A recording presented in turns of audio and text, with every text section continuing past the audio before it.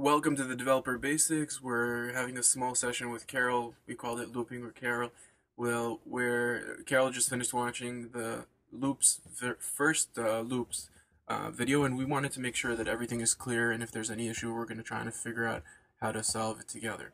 So, Carole, it's all yours. Let, from now on, um, let's start with first. You know, what, let me start asking. First of all, we, you just watched a whole hour of of loops, and really the first fundamental question is, what are loops?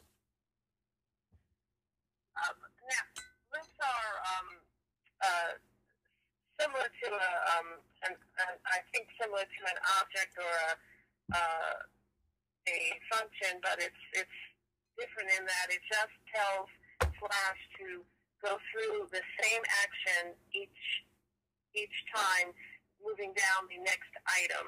Mm-hmm. Um, well, I think you, you said it right. Besides one piece, and maybe it's important to clarify that one is that functions are very different than variables and objects. And the reason is is because a function or uh, sorry, uh, uh, well, even it's different than functions because when we're talking about loops, loops are different than functions and variables and all this stuff that we've learned about so far because loops don't store anything. You can't save a loop. A loop is just a command to tell the operating system do this X amount of times. So like even if, if I just write here a really quick uh, loop, um, let me just go to actions, I'll just have just add here a for var. Uh, typing with one hand is a little bit hard. Uh, you know, let me just uh, uh, put the telephone down for a second. All right, okay. So for var i equals zero, i is smaller than ten, i plus plus.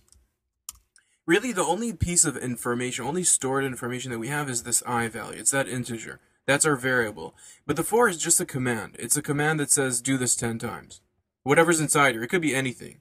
Now, it's important to note that you have your curly bra braces, and that's why you're confusing it. And it's only because when you have a function, and it's good that you're pointing this out, function, um, me, and we have our function, and we open and we close a curly bracket, and we've done that a few times already. And, and all the times that we've done it so far, almost all the times we've done it so far, it was some sort of object. But opening and closing brackets is not only always a definition of, of a thing, it's more of a definition of a zone of this is the area, the workable area. Now, with that said, it's true, and that might be a little bit confusing because you could also create a new object and just set it up set it up by opening and closing a curly bracket. Now, opening and closing a curly bracket is definitely does create a new object when you're only putting that in, there's nothing before it and there's nothing after it. But on the other hand, when whenever you're creating a function, well, a function is also a thing, right? It could be, it's something tangible because there's something that's inside of it. But in the case of a for loop, it's not something tangible. All we're saying is that everything inside of here is part of the loop. Just repeat this. Go to line 3, and then when you're done, go back to line 1. Go back to line 1. Go back, and go back until you're done with the loop. And when you're done, then move on to line 4. Now, we've seen this again, we've seen this also in another place where if we had if statements, for example, if A is bigger than B, then we open a curly bracket and close the curly bracket.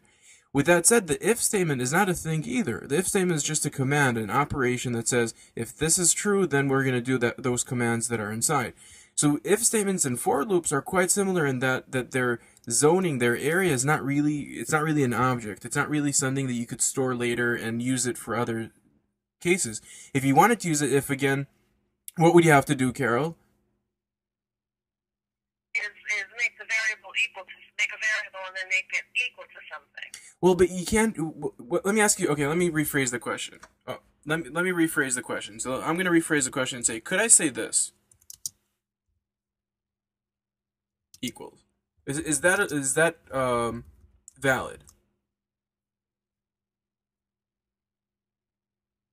Um, no, because because you're not you didn't declare what um what that that A is. Well, also because the I can declare one is this is not really valid because you can't take an if statement and put it into an if you can't put it into a variable because it's not a thing. It's more of a command. It's more like saying, um, I'm trying to trying to find a, a, a an, an example in the real world. Uh, an example in the real world would be like you have someone standing in the door and um, he tells you you could come in, you could you can't come in, right?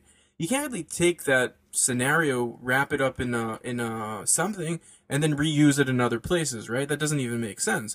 On the other hand, if you say like here I have an apple, I can take that apple, put it in my pocket, and use that apple in another another place.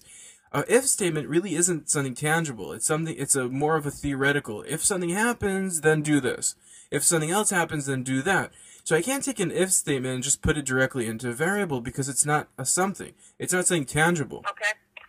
And the same is true for a for statement. A for statement is not it's not something tangible. It's not a thing. It's just a command that says for this as long as this is true, as long as this is happening, then just repeat this action over and over. Now with that said, if I It kind of directs it, directs the the code. It, it kind of um, tells the code to go a certain path. exactly, Is it's that- like a ex- Yeah, yeah, exactly. It's like an a like an officer, a, a, a commander, it's something that's telling the the program, like you said, to do something. Now, if I needed this if statement and I needed to use it a few times, then I would have to, or I could put it inside of a loop. Huh, I I live next to a fire department, so like every for thirty minutes this happens. Um, so uh, I could put it or in a for loop if I wanted this if to happen ten times, right? Or if I wanted to, I could have taken that for that if statement and just put it in a function, right? And then I could call it whenever I need it. So really, this is a, a function is a thing. A function is is much is very much like a bucket. So I could put things into that bucket if I want. I could put commands into the bucket. Okay, that makes sense. Yes, it does. Uh huh.